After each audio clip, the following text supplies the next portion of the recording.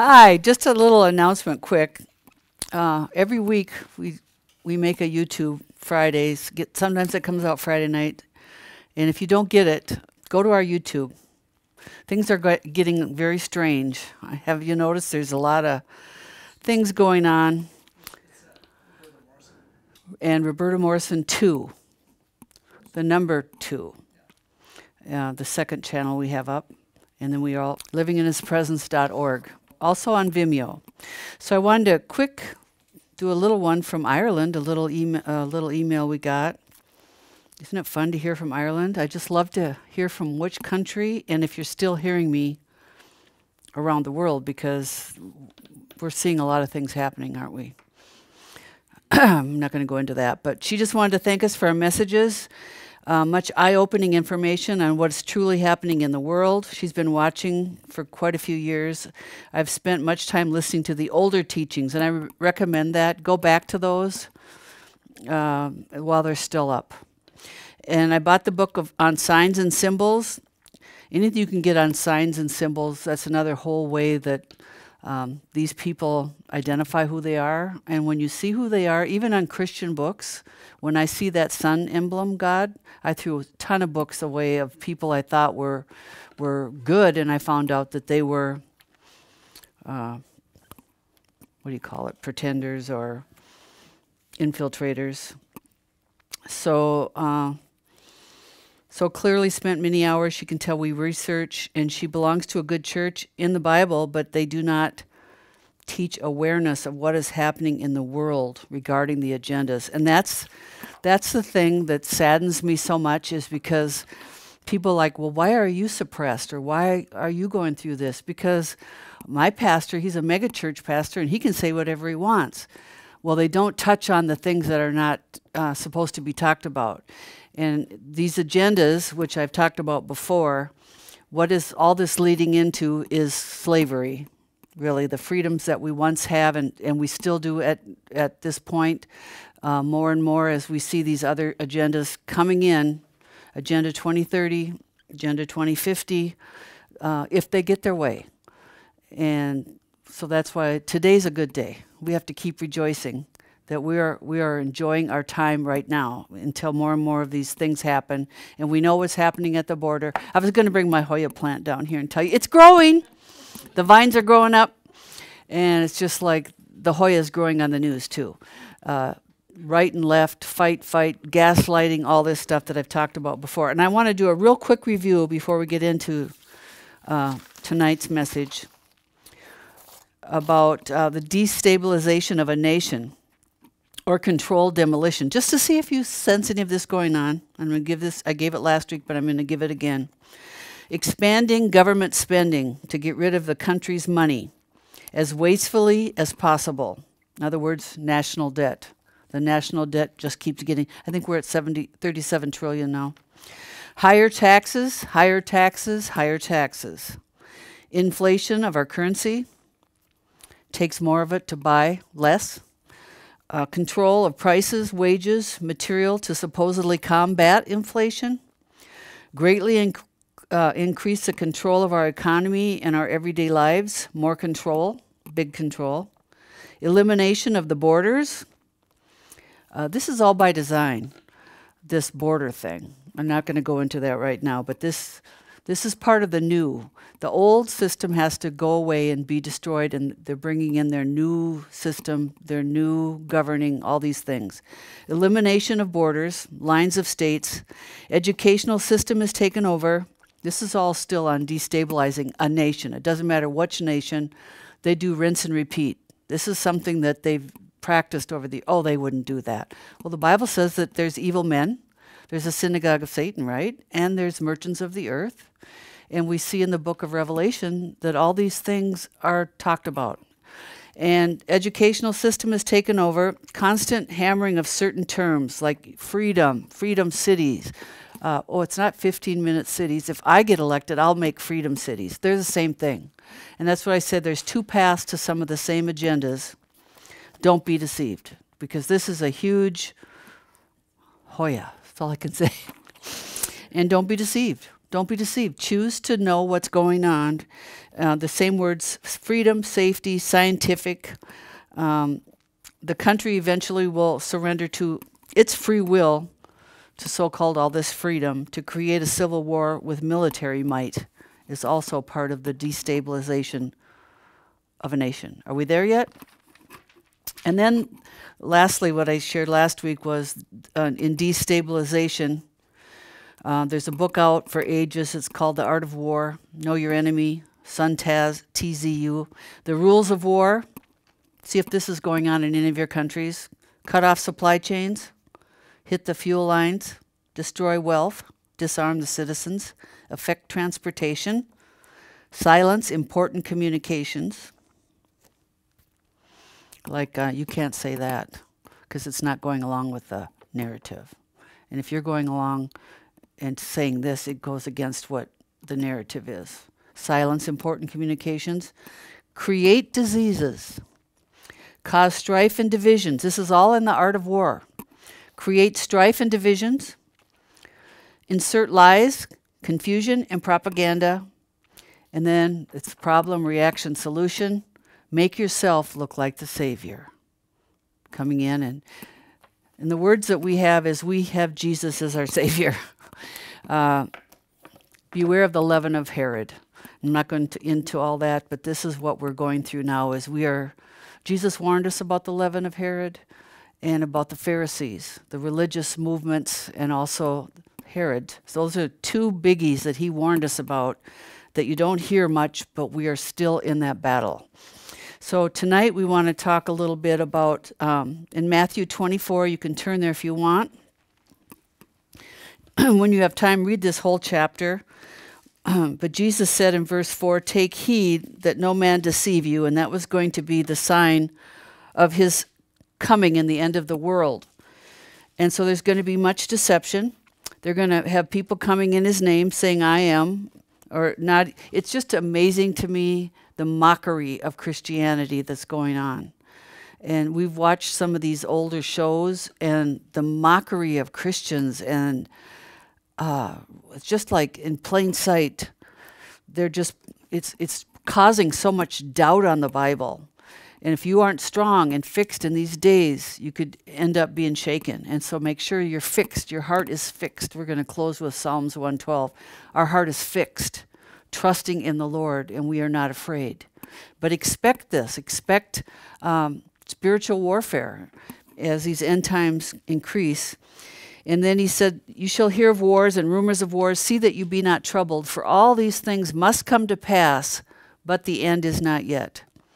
For nation shall rise against nation, kingdom against kingdom, and there shall be famines, pestilence, earthquakes in diverse places. Why is that? Because the technology now is beyond what you can imagine. That's all I'll say.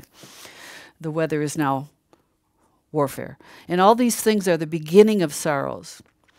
Uh, then they shall deliver you up to be afflicted, and shall kill you, and you shall be hated of all nations for what? For my name's sake. This is persecution. But in verse 10 is where we want to land today.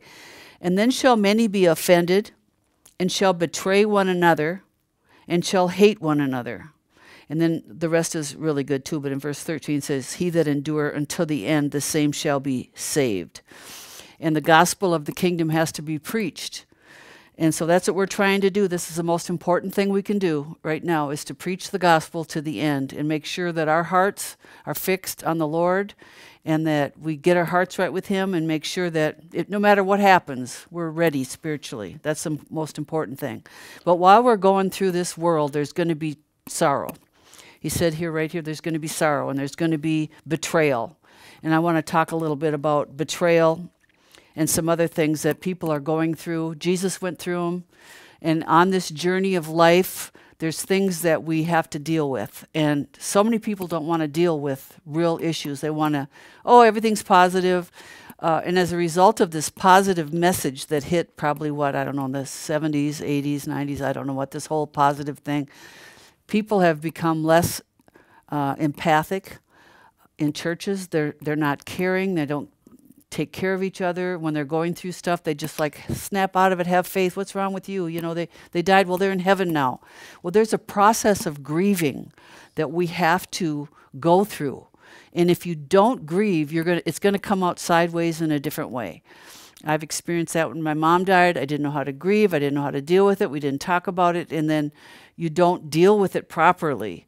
I was just a kid. So when my dad died, I've talked about this before. I grieved, I pre grieved every time I saw him, and I'd see the difference in him. And he was, so that when he finally did die, it's still hard. Death is the worst. I mean, it's, it's hard.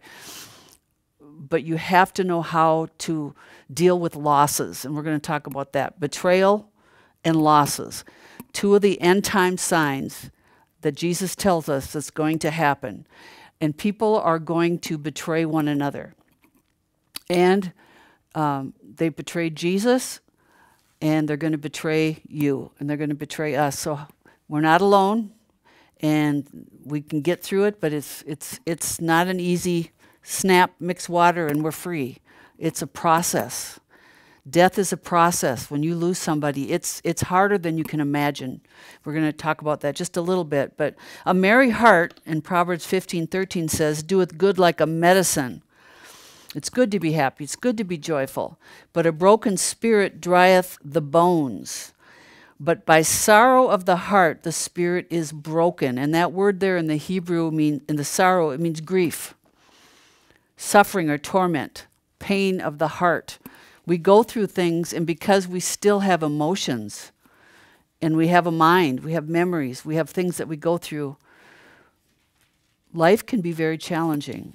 And in the church, they haven't really been helpful on how to deal with certain subjects that we, we live. It's reality. And they want you to live in denial that, oh, you know, they went to heaven, so, you know, don't be sad. You're still going to be sad. Yes, it's better off for them. But you know what? You lost something, and you have to learn to say goodbye. I have to say goodbye to the things I lost.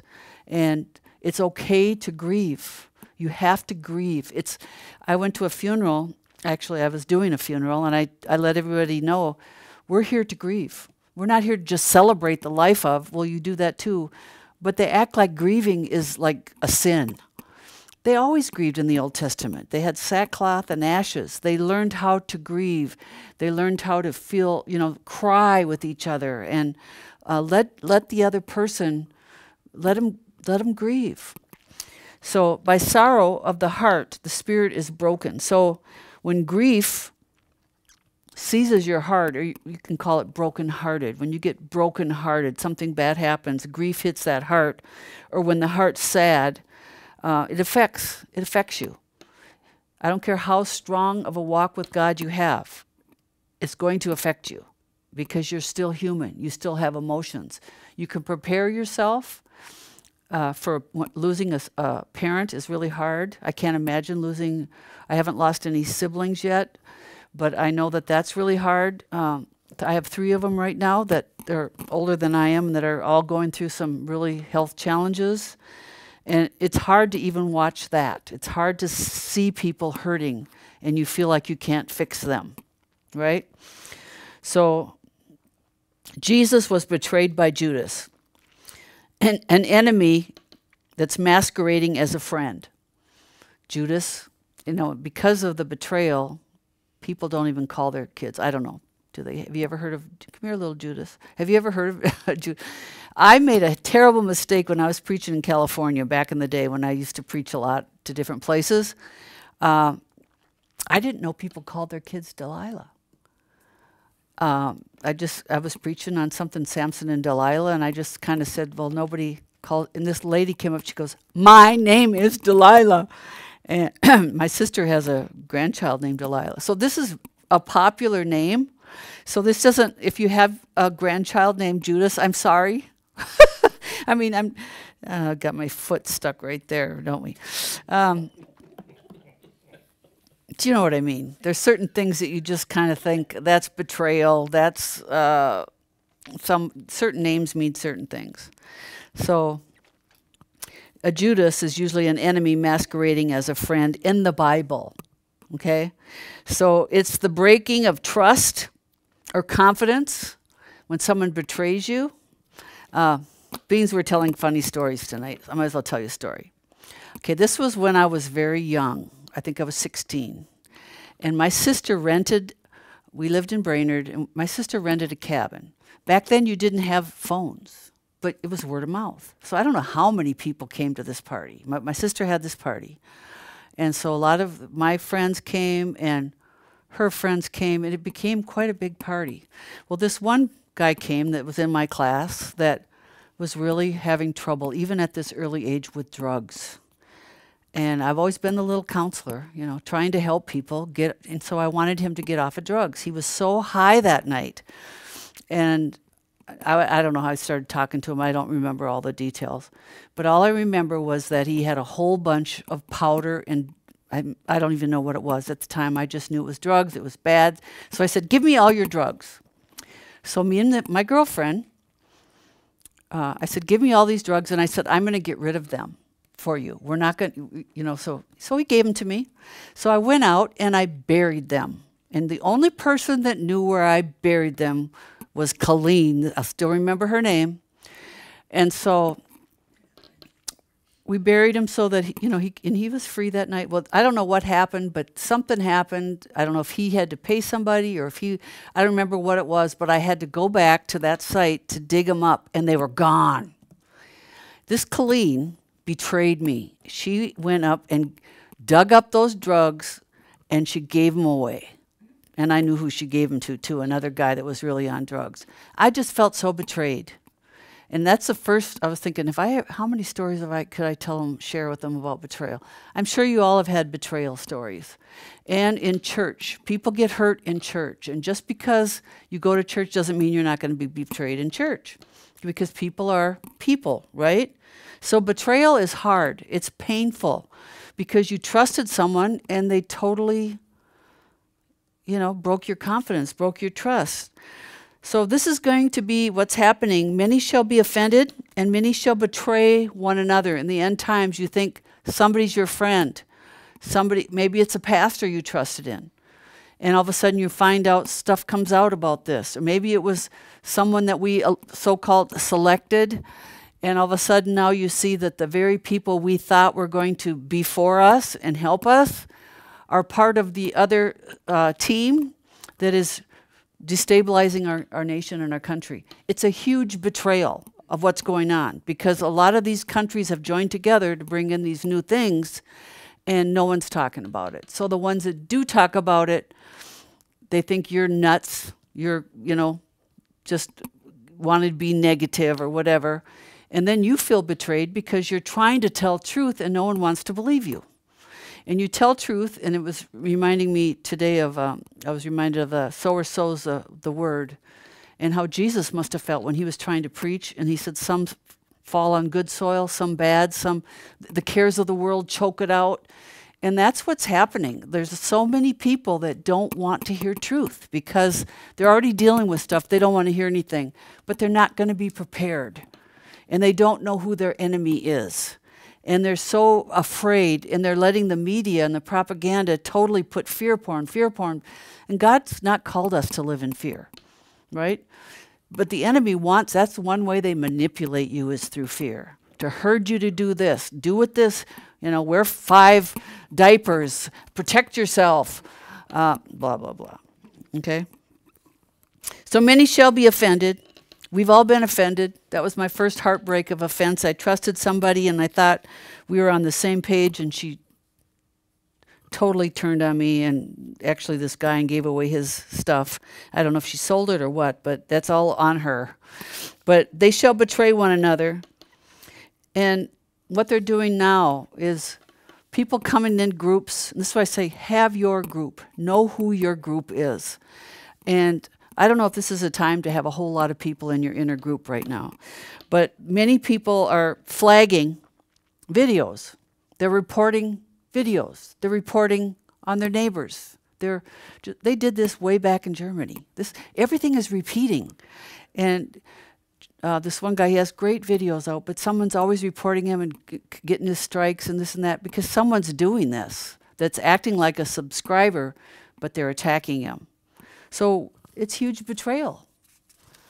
And you don't even know who these people are because they hide behind their walls, you know? So betrayal is a deliberate act of disloyalty or deceit towards someone who trusts and depends on you. You're you're supposed to be depending, and then all of a sudden you're these double agents. We watch these shows, and it's just like you know, like the old James Bond. Doesn't he ever get it that the women are always another agent? I mean, is this guy ever going to learn his lust? And always takes him over, and he doesn't have a brain. You know, so many times this happens over and over and over again, and he gets betrayed over and over again. and they're so easy to seduce. I mean, it's just like really. But betrayal is in real life is devastating and it's painful. But in real life, a lot of these stories really are true. There's double agents everywhere. There's I won't go into it. But anyway, David in Psalms 55:12, he said, and we believe this. He's talking about Ahithophel here. Ahithophel was uh, his counselor. He walked with Ahithophel, and Ahithophel turned his back on David, and he joined his rebellious son Absalom's team. So David was feeling very betrayed here. If an enemy were insulting me, I could have endured it. Verse 12. If a, a, foe were raising himself against me, I could hide from him. But it is my companion, my close friend, with whom I once enjoyed sweet fellowship. It really hurts when you used to be friends with someone and something happened. I just want to say there's a lot of things that are going around. You're not going to agree with everyone on anything, on everything. But you have to decide the hill you're going to die on. There's some things that really don't matter. It's like, okay, we can disagree with that. There's no reason for um, friendships to break over stupid stuff, you know? Well, you have to believe the way I do, because if, I, if you don't believe the way I do, I'm not going to be raptured. Because I have to have faith that I have to go in rapture. Really, it, it's your faith that's going to make you go into the rapture?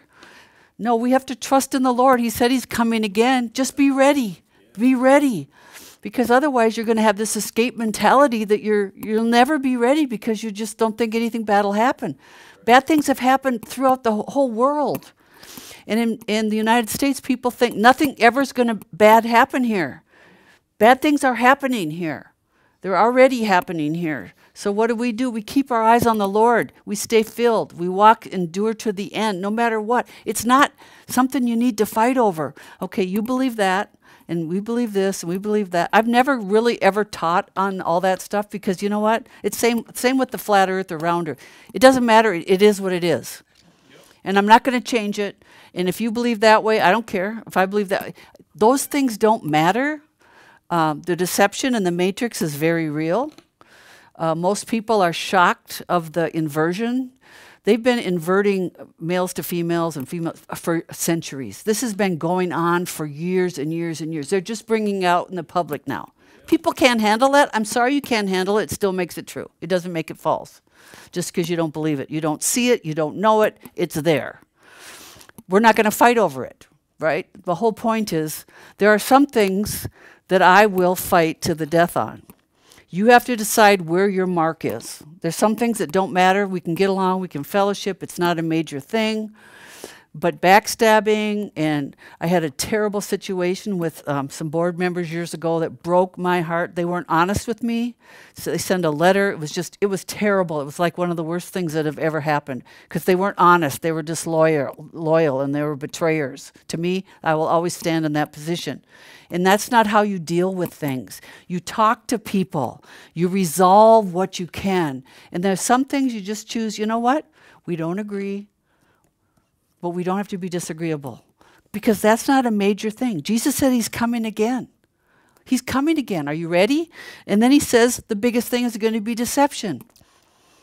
Are you letting a man deceive you? Let no man deceive you. Don't put your confidence and trust in a bunch of Hoya because that's what's going to happen. They're all going to promise you this and promise you that. And these roads are leading to these agendas. These things have been signed and sealed for a long time. And what do we do? We trust the Lord. That's all we can do is trust God. Trust Him with our families, with our parents, with our grandkids. Our, do what you can. But there's some things, you know what, You're, we're just going to have to walk through. We're just going to have to walk through. Some through the fire, some through the flood, but all through the blood, right? Guess I got that out. Some things aren't worth fighting for. The devil wants you offended. He wants you offended over this stupid stuff. Walk in love towards people. Let them believe what they want. Just let some stuff go. Tell truth to people that want to hear it. There's a lot of people. I was telling my son, I said, Yeah, your daughter's going to be this way because now I know some stuff. You know, the older you get, you know stuff. But the kids, even though they're in their 40s or whatever, they don't think you know anything. But you've learned stuff. You've grown. There's things I changed my opinion on that I didn't um, believe when he was growing up. I'd change it now the whole prosperity message, the whole word of faith, NAR, the whole thing, that's gone with me. I'm done with all that stuff. I've been through it, I see through it.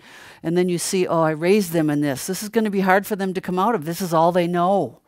And millions of people are like this. They're just like, I, would, I did the best I could. I didn't realize that this was Gnosticism.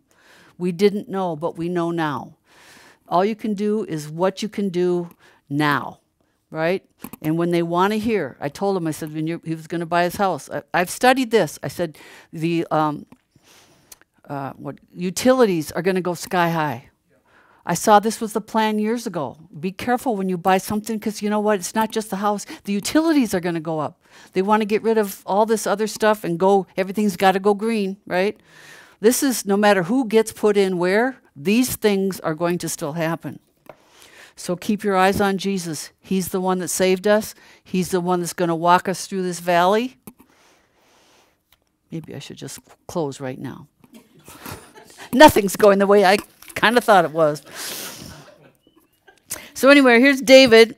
He was betrayed by Ahithophel, and he was deeply, deeply hurt. And when we find out the people that we thought were on our party that were going to help us, we just thought the other party was bad, but we didn't realize that all parties have been affected, right? You feel betrayed. There's a betrayal. There's a, a, a sense of loss. David betrayed Uriah. So here David got betrayed, but he, he betrayed Uriah when he had an affair with his wife. He put Uriah on the front lines to kill him to cover his own sin. And that's what people do too. He might have been betrayed, but he's also a betrayer. Betrayal leaves us wounded. Today, the leaven of Herod, the merchants of the earth, what did Jesus warn us about? What did he get really mad about? He took the whip to cleanse the temple of the money changers. We are going to have a big shift in the banker boys, and they've always been part of the problem, right?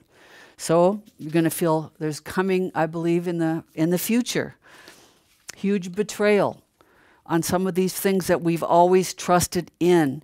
And what does the Bible say? Everything that can be shaken will be shaken. And I don't like it any more than you do. I don't even like talking about it. But there's heartache and sour, sour heartache and sorrow.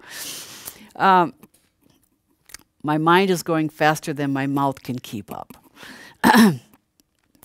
So we have betrayal and and uh, loss. I want to talk a little bit about loss. And I say that because people are losing things. They're losing their jobs, they're losing their health, they're losing their parents, they're losing their kids. They're losing a lot of different things. In this world, we face sorrow and loss. Loss is a constant companion through life. We're taught to be winners. So, you know what? we are ashamed if we lose something. We think it's our fault. Loss isn't fair. Something has ended. It's a permanent change. We must grieve over our losses, learn to grieve, don't deny it, and don't stuff it. Men really have a hard time dealing with their emotions because they were taught be tough. But when you lose something, you have to allow yourself to grieve. Tears are God's gift to us to release our feelings. Tears are not a sign of weakness, lack of faith, and I don't need to be fixed or counseled. I'm hurting. I've lost something, and I'm grieving. I'm saying goodbye. Give yourself permission to grieve and face the loss. If you don't, if you deny it, You drag it out, you get stuck. And you can always tell when you're stuck or someone else is stuck because they're angry. It's not worth being angry, even over betrayal. I've had to work through it. You have to work through it. Um, do I ever want these people back as friends? No, but I'm not bitter. I've forgiven them. You have to work. It's work to study to show yourself approved, to, to forgive someone when you really want vengeance. You just really want them to just fly off the earth, you know? We all go through it, but you have to uh, realize life is full of breakups and change. Life is full of breakup and change. And I, when I got saved, I thought everyone would be friends forever. Everybody just believed the same. I just thought the devil was out there. We're all against, you know, we're all on the same team. Uh, wow. Going to church and being a minister in church really opens up your eyes. wow. So, an example of loss a widow, I don't care if it's a guy or, you know, a woman, she's lost her mate or he's lost his wife but they've lost, they've lost a partner. They've lost more than just their husband or their wife. They've lost everything on that person the handyman, the cook, the tax guy, the fixer upper. The, there's so many losses just within that one loss that people see you a, a year later and go, snap out of it. You know, you lost your wife a year ago. You should be fine by now.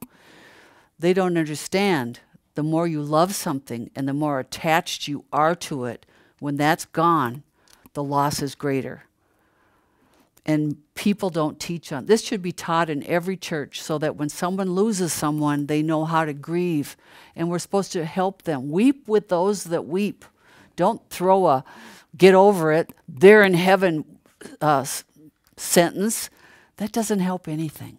Well, I know they're in heaven. Yes, but I'm hurting right now, and my heart's hurting, and I have to work through this. And give me time, Help me go through it. Be there for me. Just hug me. Sometimes you don't need any words. Just let me cry. Don't try to fix me. Don't try to confess over me. Let me grieve. And everyone grieves a little bit differently. We have to learn to say goodbye. Every loss needs the recognition that the connection is broken and now life's going to be different. I have three siblings that are going through things right now. Life will be different. It's just so nice to, to call people whenever you want to call them, even if you might not call them all the time. It's just nice to know they're, they're there. That's the first thing I remember when my dad died. I called him all the time. And it was like I pick up the phone. Oh, he's not there now. Your life is different after that. And until you know that feeling, it's hard for you to empathize with someone else that's going through it. But when you've gone through something, you can really say, I'm going to give you the comfort that I had. The Lord comforted me through this, and I'm here to help you go through what you're going through. So now I have to live without it. There is no mix with water, and poof, you're fine. It's a process. Matthew 5 4 said, Blessed are those that mourn, for they shall be comforted. To mourn means I'm letting go. And when you get betrayed, there's a letting go too. This one person I thought was my friend for 40 some years. I thought she was my friend. I thought she could. Then I hear stuff she was saying about me that she never came to me and asked me if this was so and so and so and so. Is this true? We heard this about. I'm like, what? That's not a friend. A friend is someone that sticks with you, right? So I had to mourn the loss of a person that I thought was a good friend for all these years. I guess I made her to be kind of a saint, and she wasn't. To mourn means we're letting go. And we all have to let go of things. We're all going to have situations, relationships that break up. Doesn't matter how spiritual you are, how much you try to be a good friend. It's called life. To comfort others, don't say, well, they're with the Lord. You shouldn't be sad. Don't cry. It's going to be fine. Just have faith. I loved it when they'd come and do this. They'd just tap you on the head and say, Be healed. when words fail, tears are the messenger. No words. Let them flow. Tears are a language all their own. And that's why God gave them to us. In closing, Genesis 4 42 5. Joseph reunites with his brothers that betrayed him. He turned away in verse 24 from his brothers and he began to weep. If you go through a huge betrayal like he went through betrayal with his brothers, he wept. No words here. There were no words. Sometimes there are no words, and you have to pour your heart out to the Lord. Nobody else can take it away. You have to learn. When I've been really hurting, I'd get on the floor and I would just cry it out.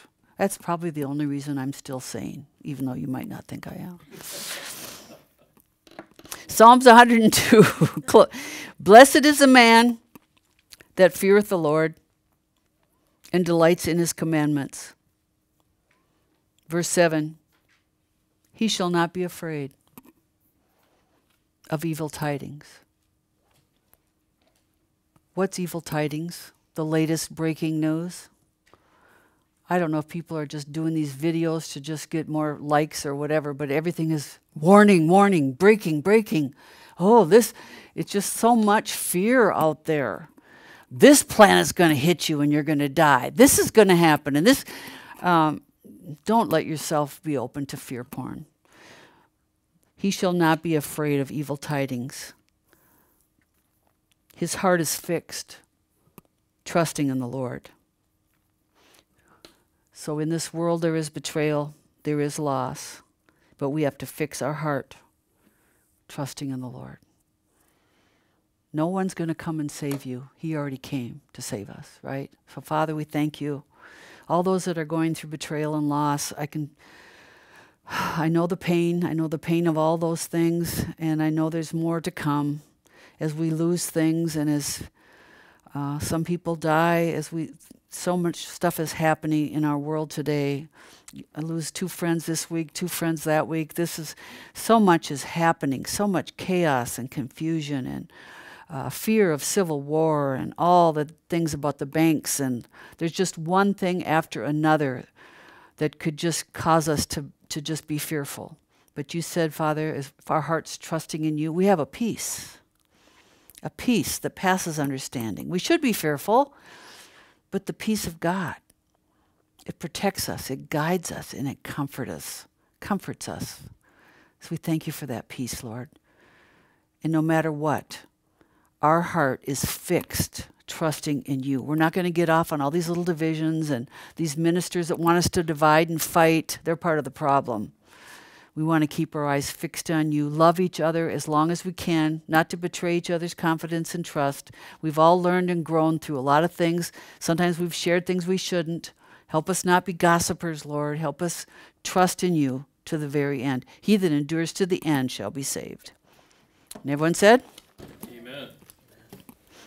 If you would like to see more messages from Roberta on YouTube, be sure to subscribe to her YouTube channel, Roberta Morrison her backup channel, Roberta Morrison 2, and on the Living in His Presence Church website, where you can access the messages on the top center of the main web page.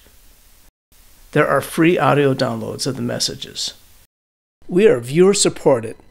On the main web page at the top right is a Give button. Thank you for watching and see you next time.